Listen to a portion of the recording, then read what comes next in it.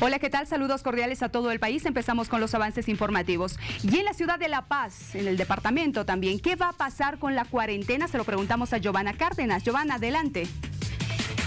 Y tras la reunión del Centro de Operaciones de Emergencia Departamental de Cebol 110, el alcalde Luis Revilla ha señalado que durante una semana continuará esa cuarentena dinámica en La Paz. Sin embargo, a partir del 23 se realizarán controles estrictos, sobre todo en salidas de personas.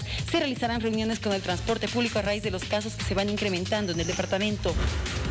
Gracias, Giovanna. Estaremos ampliando esta información más adelante. Ahora queremos contarle de las actividades que ha desarrollado la presidenta Yanine Áñez. Justamente hoy, acompañada de sus ministros, ha realizado el lanzamiento oficial de la campaña Tu Decisión da Vida en el marco de un acto en conmemoración al Día Mundial del Donante de Sangre que se realizó en Palacio de Gobierno.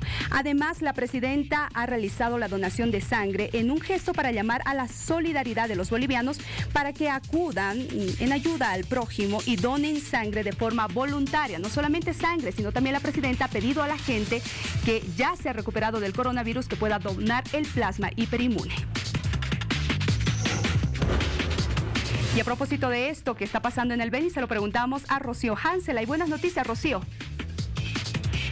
Muchísimas gracias, compañero. Informarle desde Beni que en el municipio de San Ramón, provincia Mamoré, se ha dado el primer tratamiento de implante hiperhumano que precisamente fue traído de un joven de 25 años y colocado a una paciente de 83 años que se debatía entre la vida y la, muerte, presentando un cuadro de un 30% de probabilidades de vida. Hasta el momento este ha sido el primer tratamiento que deja mucha esperanza a esta población que día tras día según su autoridad, manifiesta de que mueren entre dos a tres personas y esto deja bastante consternado. Incluso ayer acaba de fallecer el corregidor de esta autoridad, una autoridad de 39 años de edad que deja en orfandad a tres niños. Con esta información retornamos con ustedes hasta Estudios Centrales. Gracias, Rocío, y esperemos que otras personas también se sumen a esta campaña de donación de plasma. Ahora vayamos a ver qué está pasando en Oruro. Hay protestas de qué sector, por favor, Janet Martínez. Muchísimas gracias.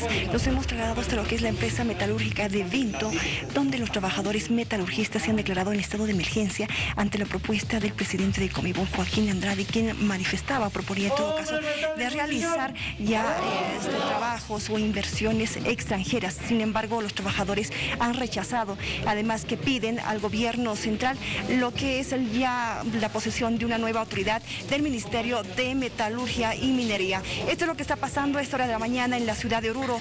Los trabajadores metalúrgicos se han declarado en estado de emergencia. Gracias, Janet, por la información. A propósito de eso, el gobierno ha anunciado la posesión del nuevo ministro de Minería esta tarde. Permiso, Bolivia. En breve retornamos con más información.